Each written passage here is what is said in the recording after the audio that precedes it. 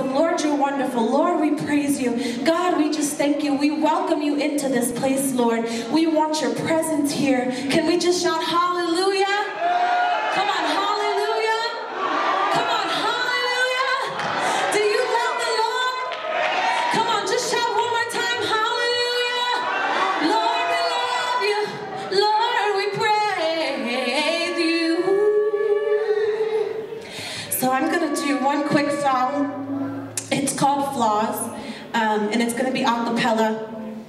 And this song really just, um, it's written actually by Kierra Sheard, it's not my song. But it really blesses me because sometimes as Christians, we often think that everything's supposed to be perfect and that we're supposed to have it all together.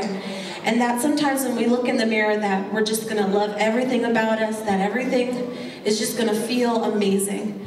But there are times where we just have to dig deep and say, God, I give my flaws to you. I give everything that's about me that I don't like, everything that I make mistakes with, and I give it to you. Lord, you love my flaws.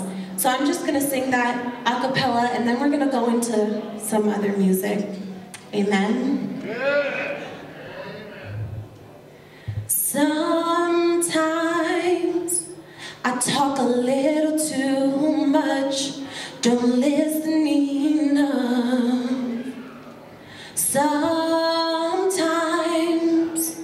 it's way too easy for me to beat myself up. Sometimes I get in my own way. I'm way too much to put up with. But you put up with it all, my love.